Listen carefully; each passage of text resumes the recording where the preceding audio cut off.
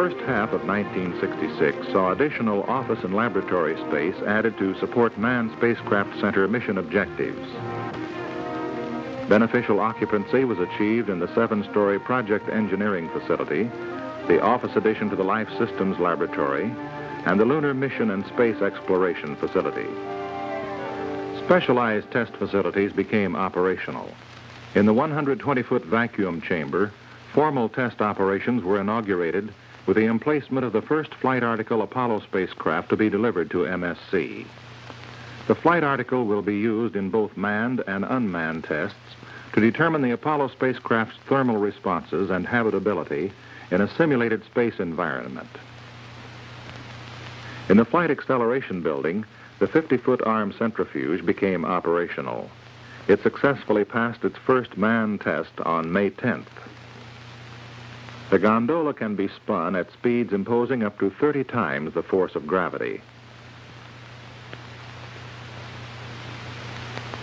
In May, a specially instrumented ground test model of the Lunar Module Adapter section was delivered to MSC. The adapter was moved to Building 49, where it was installed in the 105-foot acoustical test tower. Preliminary acoustical tests, started late in the reporting period, will lead to the first full-scale spacecraft structural tests to be conducted at MSC. On the MSC Boresight range, Building 18 was completed in time to receive a full-scale mock-up of the Lunar Module Ascent stage. A movable mount will position the stage for tests of the module's rendezvous radar. In nearby Building 14, the anechoic chamber swing arm positioner was readied for its first operational use. A space-suited subject wearing a portable life support backpack was prepared for pattern measurement studies of the backpack's communications antenna.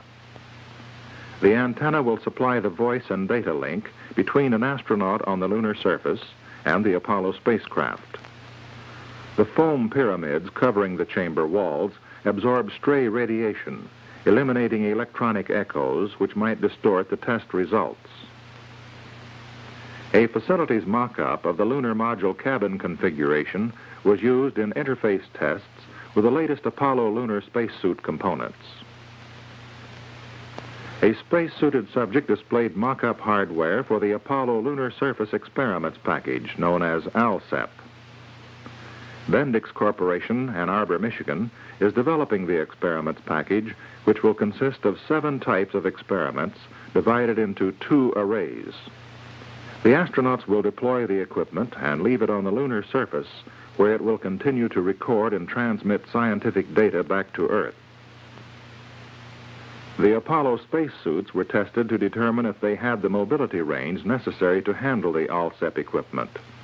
Both the soft suit and the Apollo hard suit proved to have the mobility characteristics needed to perform the required tasks. The aluminum and fiberglass hard suit was also used in compatibility studies with proposed lunar surface survey vehicles. This is a Boeing design, and this is a Bendix design. Such a vehicle to be used with the hard suit is proposed for advanced Apollo missions involving prolonged lunar surface stays. Vehicle investigations are being conducted by NASA's Marshall Space Flight Center as part of the Apollo Applications Program. Long-range planning was also evident in continuing MSC investigations into spacecraft landing systems. A scale model Apollo spacecraft fitted with nitrogen gas jets was used in landing attenuation studies. The water tank tests were expanded to include full-scale boilerplate drop tests using solid propellant rockets to supply the braking force test results were better than predicted. The system also represents a significant advance in developing a spacecraft land landing capability.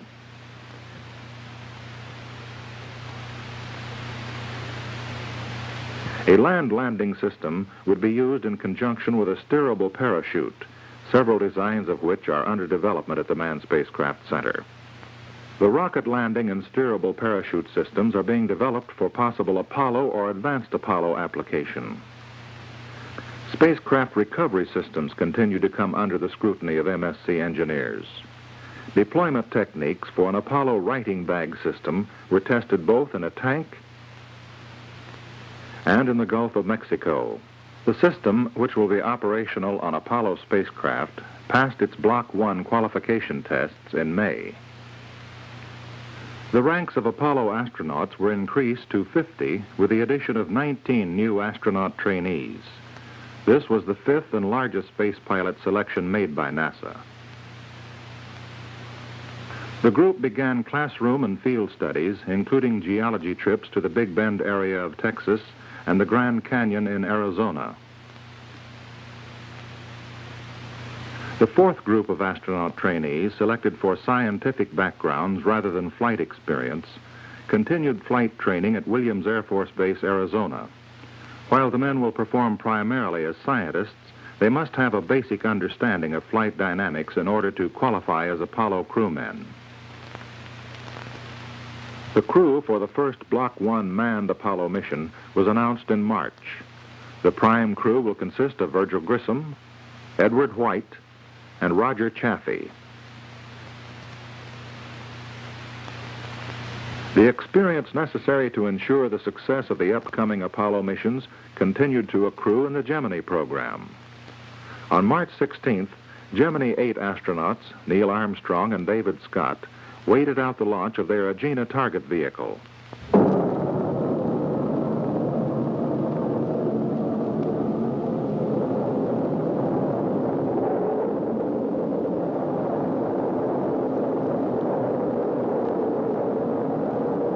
Agena was placed into a near-perfect circular orbit. The countdown on the Gemini Titan II continued as the Agena approached its first pass over Cape Kennedy. At 11:41 a.m. Eastern Standard Time, Gemini 8 rose from Launch Complex 19.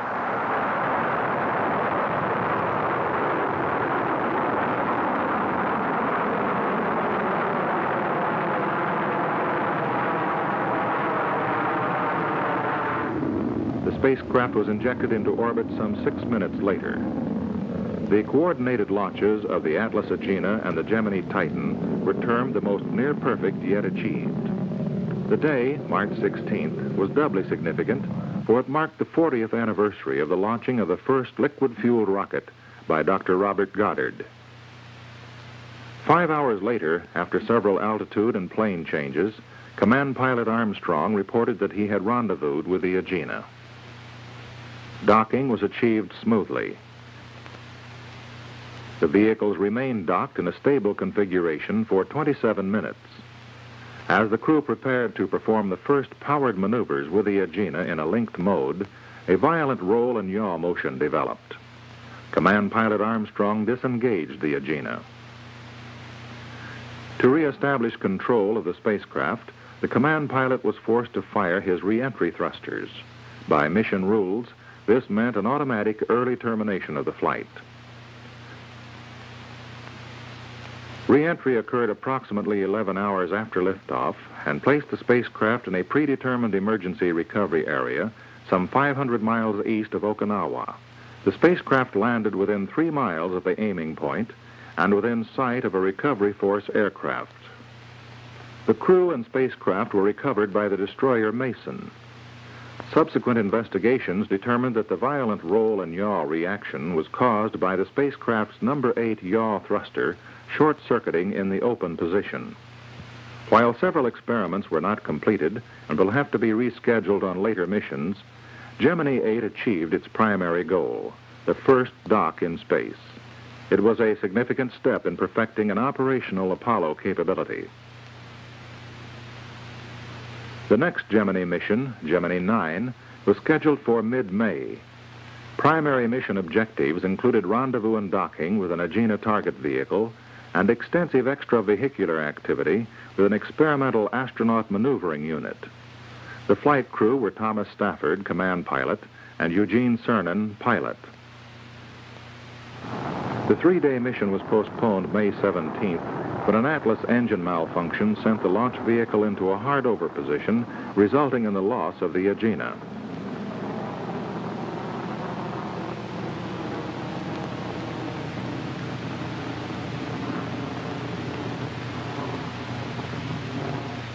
A substitute target vehicle called the Augmented Target Docking Adapter, or ATDA, was pressed into service.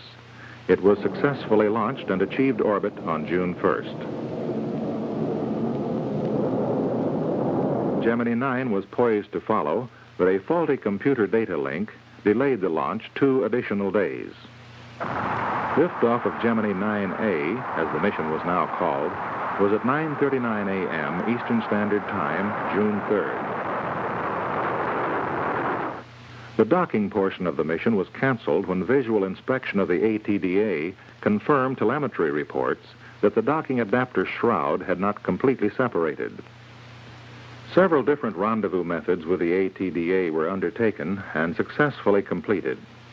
Extravehicular activities performed by astronaut Cernan lasted two hours and ten minutes.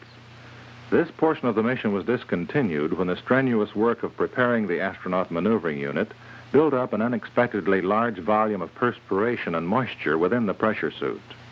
Resulting fogging of the helmet visor forced cancellation of the maneuvering unit experiment. On the third morning of the mission, the flight crew initiated retrofire and re-entry, illustrated here by film shot by the flight crew as they descended through the Earth's atmosphere. Re-entry was so precise that the spacecraft landed within 3,000 yards of the predicted impact point and within sight of the recovery vessel, the carrier WASP, standing by in the Atlantic recovery area. While approximately 50% of Gemini 9A's mission objectives were not completed, the mission scored several noteworthy successes. It achieved rendezvous by three different techniques. It produced more knowledge about man's ability to work outside a spacecraft. And it accomplished re-entry with greater precision than had ever before been demonstrated.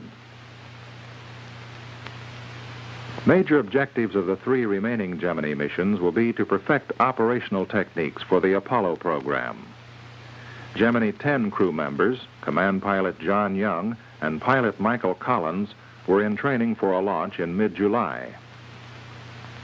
The Gemini 11 prime crew will be Command Pilot Charles Conrad and Pilot Richard Gordon, shown during a dry run of a photographic experiment at the McDonnell plant in St. Louis. The final Gemini mission, Gemini 12, will be flown by Command Pilot James Lovell and Pilot Edwin Aldrin.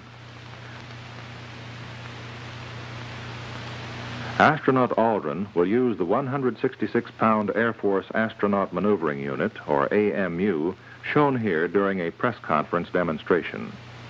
The unit was originally scheduled for use on the Gemini 9A mission.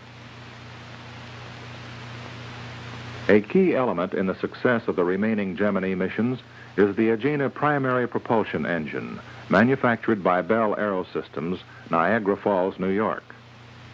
An engine malfunction canceled the first rendezvous attempt during the Gemini 6 mission in October 1965. Engine design modifications were made and successfully tested at the Air Force's Arnold Engineering Development Center, Tullahoma, Tennessee. The modifications were incorporated in the remaining Agena engines. The Agena for the Gemini 10 mission was given a thorough checkout before being shipped to the Cape in early summer. Checkout events also continued on schedule for the Gemini launch vehicles. At the Martin Baltimore plant, the launch vehicle for Gemini 11 was erected in the vertical test stand. GLV 10, shown in the adjacent stand, completed checkout and was delivered to the Cape in May. While operational techniques were being perfected in the Gemini missions, hardware testing and manufacturing continued in the Apollo program. At the Kennedy Space Center's Launch Complex 34, preparations were underway for Apollo Saturn Mission 201, the first launch of a flight article Apollo spacecraft and an uprated Saturn I launch vehicle. At 11:12 a.m. Eastern Standard Time, February 26th, unmanned Apollo spacecraft 009 was launched on a 5,000-mile ballistic trajectory down the Atlantic Test Range.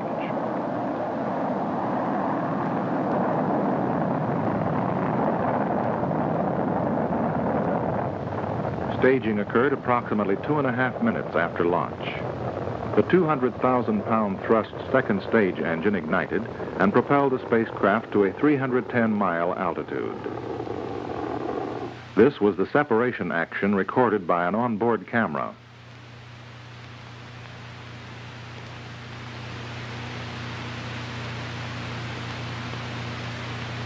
The command module landed approximately 40 minutes later. Recovery was performed by crews aboard the carrier Boxer. Mission objectives included subjecting the command module's heat shield to high heat transfer rates. Two burns of the service propulsion subsystem accelerated the reentry of the spacecraft so that heating rates approached the values that will be encountered for lunar mission entries. Fluctuations in the service propulsion engine's performance degraded the entry velocity, resulting in lower surface temperatures than planned. However, data protractions verified that the current heat shield design is able to withstand an atmospheric entry from an orbital mission. The successful completion of the first Apollo Saturn mission was one of the most important accomplishments to date in the development of a manned lunar mission capability. The second Apollo Saturn mission will be flown with unmanned spacecraft O-11. The spacecraft entered final systems checkout at Cape Kennedy in preparation for mating to its uprated Saturn I launch vehicle early in the next reporting period.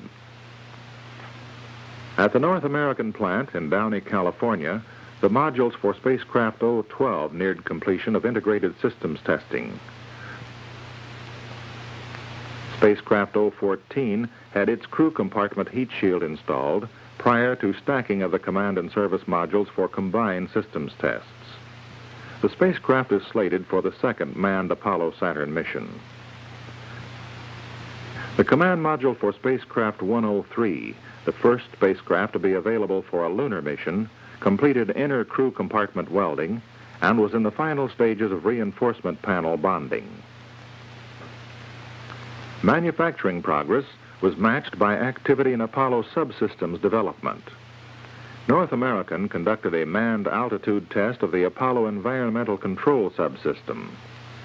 The test subjects were sealed in a command module test cell for 14 days, the duration of a lunar mission, and subjected to simulated altitudes they would encounter on such a trip. Closed-circuit television cameras kept a constant surveillance on the test subjects. Blood samples were taken periodically and passed by means of an airlock to medical personnel who monitored the subject's physiological responses. The test included evaluating overall ECS performance during normal and emergency modes, performing toxic gas studies, checking crew system interfaces with respect to lighting and personnel comfort, and conducting microbiological control studies. The test demonstrated that both man and the ECS subsystem can meet the rigors of a 14-day Apollo mission. Other subsystem development efforts included the final test of the Apollo launch escape subsystem at the Army's White Sands Missile Range, New Mexico.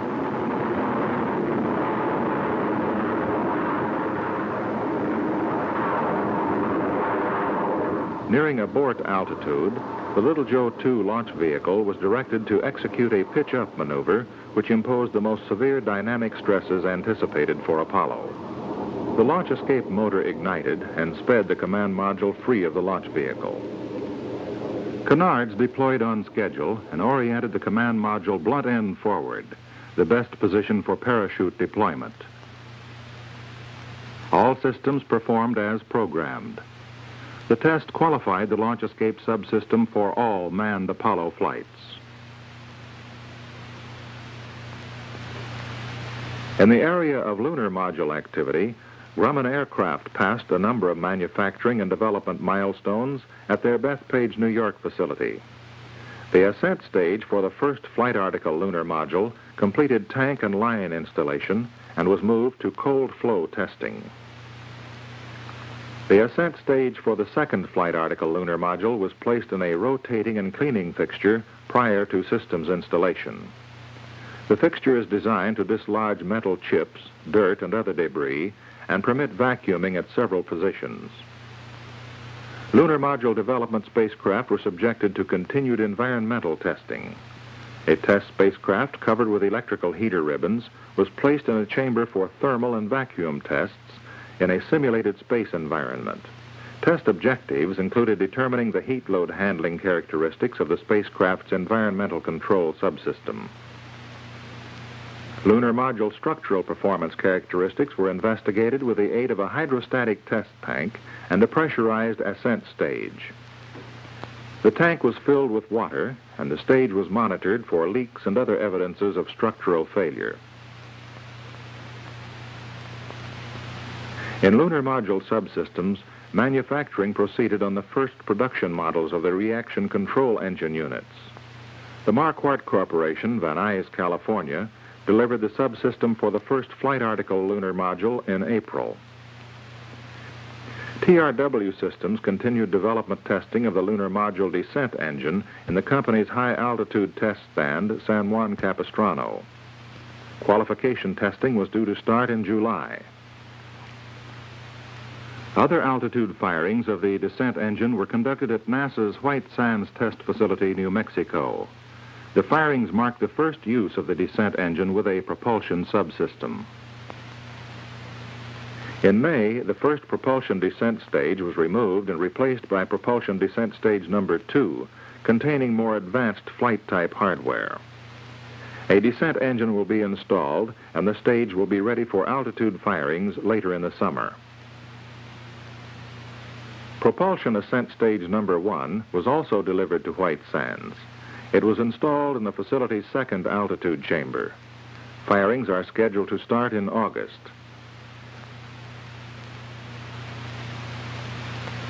While MSC is responsible for manned spacecraft programs, it draws on the services of other NASA centers and government agencies to aid the accomplishment of these programs. At the Kennedy Space Center, for example, ground crews completed mating of the Apollo Saturn V facilities checkout vehicle. The structure will be used to verify launch facilities, train launch crews, and develop test and checkout procedures at Launch Complex 39. On May 25th, a crawler transporter, positioned under the checkout vehicle and its mobile launcher, began moving the towering load through the 456-foot high doorway of the vehicle assembly building. Its destination was Launch Pad A, three miles distant. Total weight of the launch vehicle, mobile launcher, and transporter was approximately 18 million pounds. For almost 10 hours, the Apollo Saturn V moved over the specially constructed crawlerway at speeds up to one mile per hour. The most critical part of the trip was the 5% climb to the top of the launch pad. The transporter's hydraulic leveling system maintained correct positioning throughout the climb. The emplacement of the launcher and checkout vehicle verified the mobile operations concept at Launch Complex 39. The event registered another major milestone in keeping the United States lunar timetable on schedule. Information valuable to lunar mission planning is being provided by the Surveyor program, managed by NASA's Jet Propulsion Laboratory, Pasadena, California. The first flight article Surveyor was delivered to Cape Kennedy in March. Following several weeks of pre-flight checkout, the spacecraft was mated to its Atlas Centaur launch vehicle. Launch occurred on May 30th.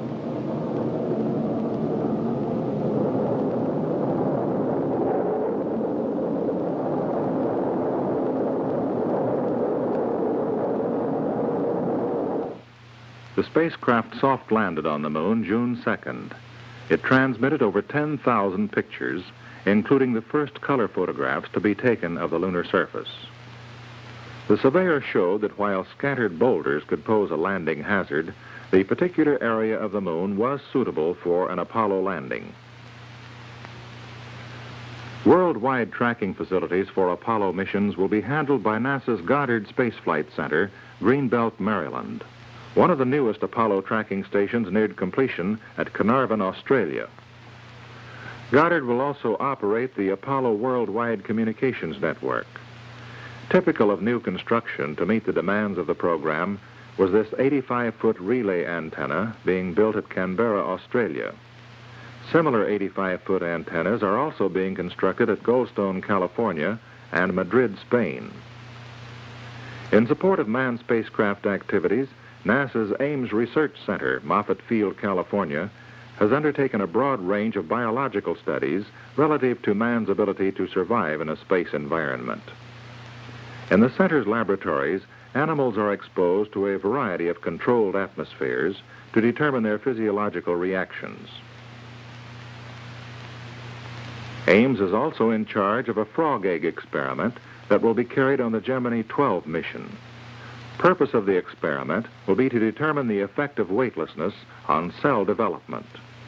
Frog eggs are used since no matter how they are turned, they always return to a same side up position with respect to gravity.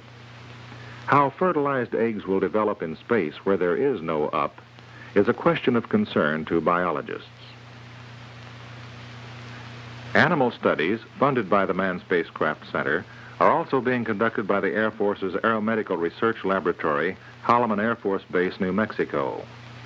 Chimpanzees are placed in an altitude chamber and subjected to explosive decompressions. The primates have survived three and a half minutes in a vacuum with no undesirable after effects. The studies are providing data that can be extrapolated to the treatment of human subjects who may become involved in altitude chamber training accidents. Throughout the first half of 1966, the tempo and complexity of operations increased in all manned spacecraft operations. In the Pathfinder missions of Gemini and in the follow-on programs of Apollo, this nation continued to take longer strides toward achieving its goal of an operational manned spaceflight capability.